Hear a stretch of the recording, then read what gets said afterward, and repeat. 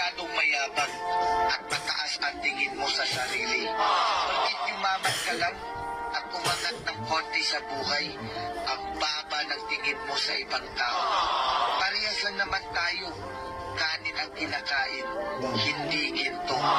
Dahil ang pera nauubos, ang mukha tumatanda, ang bagay nasisira, ang kasikatan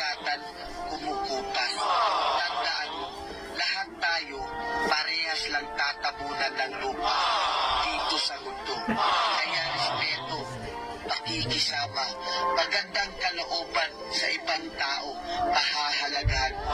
At kahit saan ka man magpunta, pwede mong ipagmalaki kahit kanino man. Tama.